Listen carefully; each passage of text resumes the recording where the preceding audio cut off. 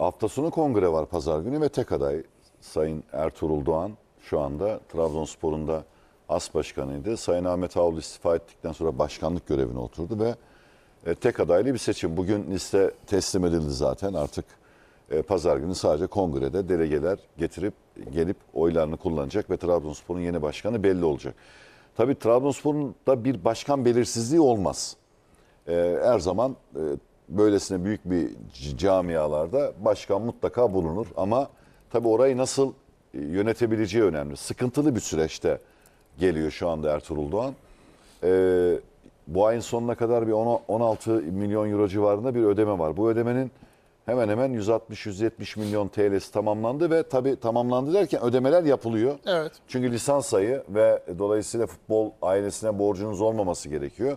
Onları da ödeyip bir borçsuzluk kağıdı, kağıdı alarak e, lisansınızı teslim almanız gerekiyor. Bu süreci yani işin ekonomi kısmını zaten halletmek zorundasın. O halledilecektir. Orada değiliz ama ben pazar günü özellikle Sayın Ertuğrul Doğan'ın kongrede yapacağı konuşmaya biraz fokuslandım. Ne diyecek? Bu çok önemli. Ee, sezonluk bir planlama mı yoksa sezonların da içerisinde olacağı bir planlama mı? Küçülme mi? Küçülerek yarışın içerisinde olmak mı yine? Ve aynı zamanda da kulübün yeni gelir kalemleriyle ilgili başlıkları ne olacak mesela? Ee, bu stratejiyi doğru bir şekilde e, anlatmasını bekliyorum ben. Bakalım ne diyecek? Bence önemli. Camiaya da bunu e, anlatırken ikna etmesi gerekiyor. Çünkü biliyorsun sen de anne tarafından Trabzonlusun. E, dolayısıyla Trabzon spor İkna olmamız kolay değil. ikna olma, olma olmamız kolay değil. E, ama yani 5 yıllık süreçte zaten e, hani 4 kupanın da müzeye girdiği ki bunların içerisinde şampiyonluk kupası var. Bu çok önemli. E, girdiği bir dönem şimdi artık sürdürülebilir bir ekonominin olmadığı e, ve bu ekonominin nasıl sürdürülebilir hale getireceği ve takımın da bu sürdürülebilir ekonomiyi e, yaparken yarışın içerisinde nasıl tutulacağı gibi iki zor bir denklem var. Burayı nasıl çözecek? E, burayı nasıl çözecek? Bir teknik direktörle çözmesi gerekiyor. Evet. Yani bütün bu stratejiye uygun bir teknik adamın olması lazım. E, Var bu mı aday abi? adaydan ziyade adaylar var da bu adayların içerisindeki en doğru ismin kim olacağı e, tartışılıyor. Medyada hiç çıkmamış sürpriz isimler görebilir miyiz? Vallahi görebiliriz, görmeyebiliriz ama ağırlık yerli bir teknik adamın olması konusunda şu an için yabancı bir teknik adamın bir Macera maceraya olur. e, yol açacağı konusunda e, genel bir e, görüş var şu mevcut yönetimde.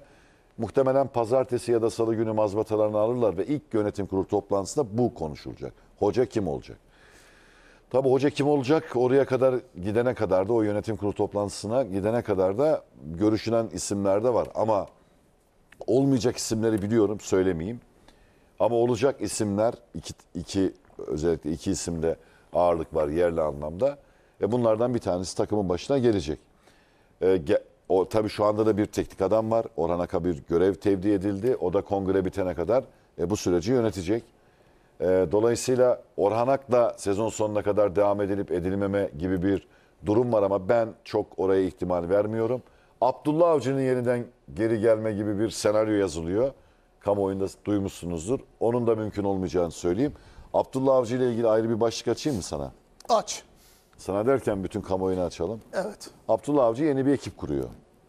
Ee, muhtemelen de e, Türkiye'de değil ama yurt dışında bir takımla e, ciddi anlamda temaslar var. E, bu yeni ekipte iki sürpriz isim var. Orhan Ak zaten olmayacak yeni dönemde Abdullah Avcı'nın ekibinde. Egemen Korkmaz ve Önder Karavelli. Şu anda Abdullah Avcı'nın ekibinde yer alacak iki isim. E, ama şöyle bir şey olabilir. Belki Egemen Korkmaz şu sezon sonuna kadar yeni teknik ekibin içerisinde Trabzonspor'da görev alabilir gibi de bir şey duydum. Ee, böyle bir durumu da buradan Söz konusu olabilir. mi? Evet. Önder Karaveli net mi ya Abdullah Hoca'nın ekibinde? Net. Efendim? Önder Karaveli yeni dönemde Abdullah Hoca'nın Abdullah Avcı'nın ekibinde. ekibinde olacak. ilginç. Niye? Yani Beşiktaş'tan tabii ki altyapıdan çıkıp oraya gelmesi Beşiktaş'ta yıprandı. Abdullah Hoca'nın Belki altyapıyla ilgili bir planlamasıyla ilgili hani bir görev verecek ona Abdullah Avcı. Olabilir. benim için hayal kırıklığı oldu. Mesela Beşiktaş'ta çok iyi bir fırsat yakaladı. Çok Ama zor ama o iş. Çok zor abi o iş. Yani Devam- yakınında hiç öyle bir iş yapmamışsınız hayatınızda. Hani Beşiktaş seviyesini bırakın ama yakın bir seviyede çalışmamışsınız. Böyle bir sorumluluk, sorumluluk geliyor. E, problem yaşaması da normal hocam. Bazen bazı şeyler ne bileyim bazen açıklamalarınız sizin tekniğinizin takdirinizin çok daha önüne geçebilir. Başlangıçta müthiş güzel açıklamaları vardı. Burada hep alkışlamışımdır hocayı. Sonra yapmış olduğu açıklamalarda benim için çok hayal kırıklığı noktalar var. Bilmiyorum bana katılır mısın Yusuf? İşte camia camia nereye doğru gidiyorsa Olmayacak. açıklamalar da o Olmayacak. yönde gidiyor. Bazen- bazen- en büyükler bile yapıyor. Bazen kaybedersiniz ama yapmış olduğunuz açıklamaya da doğru söylemler size kazandırabilir. Doğru ama işte en tecrübeli teknik adamlar bile yabancı statüsüyle ilgili, yabancı kuralı ile ilgili, futboldaki diğer hakemlerle ilgili açıklamalarını bir gün A şeklinde yapıyorlar. Ertesi gün bir B şeklinde diyorlar. Konjonktüre göre her şey değişebiliyor bence.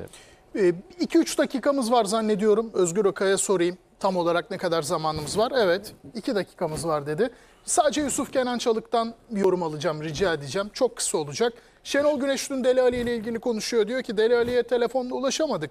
İnşallah kaza falan geçirmemiştir. Yağmur yağıyor herhalde. O yüzden gelmedi. Ondan haber almaya çalışıyoruz dedi.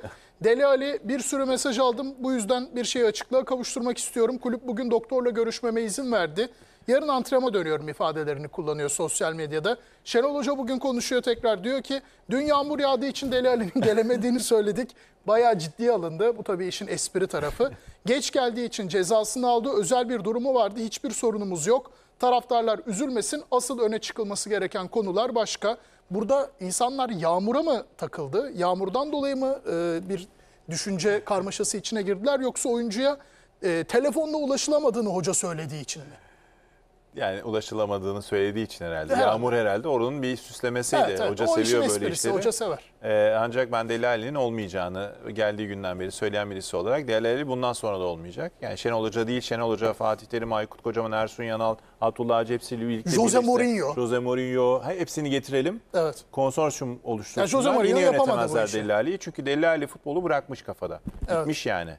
Ee, onun başka bir herhalde hayatla ilgili başka bir düşüncesi, kariyer düşüncesi var. Şenol Hoca bile dokunamadıysa ona Olmaz demek yani olmayacak. Cevabı alamıyorsun. Belli. O yüzden Karagümrük, Karagümrük Süleyman Orman'a göndermek lazım. Süleyman Orman bunları topluyor. Yok şimdi. olmaz. Orada da olmaz. Çünkü bu saatten sonra e, Şenol Hoca'dan benzer açıklamayı açıklamaları farklı boyutlarda duyabiliriz. Yani antrenmana geldikten sonra da işte geldi ama görmedim. Antrenmanda mıydı acaba? İşte Ama- basın mensupları ama- daha ama iyi bir şey görmüş. söyleyeceğim. Bu- gibi gibi açıklamalar Bu, görebiliriz. bu durum böyle çok böyle her defasında şakaya vurulacak bir olay değil. Yani camiada şu anda en çok konusu. Hatta Avrupa basında da Google'a yazdığı zaman karşına çıkacak kadar e, deli haline Yanlış yerde- transfer. Yanlış transfer. O yüzden ulaşılamıyorum, ulaşılamıyorum yağmurlu hava dememek lazım yani. Çünkü ciddi bir mesele. Kendisi almadı ama. O Doğru. konuda haklı Geldiğinde hocam. mevcuttu. Evet. Ee, Savaş Gelirken her şeyi biliyorsun. Orada mazereti kabul etmiyorum. Şenol Hoca da içine gelirken siz planlı geliyorsunuz. Yani sonra Şenol ben Hocalık bir durum yok. Zaten Şenol Hoca O da geldi adam denedi bence buradaydı şans yani. da verdi yani. Evet. E, Derbilerde de verdi. Bu konu biraz daha uzun. Rozierler Konuşuruz daha uzun uzun. Ona konu evet. var. Teşekkür ediyorum Savaş Çorlu. Boş Özdemir. Teşekkür ediyoruz. Hayırlı Ramazanlar. Bugün Ramazan Diyelim. günü. Hayırlı Evet. Ramazanlar. e, Ve e, futbol meydanına da noktayı koyuyoruz.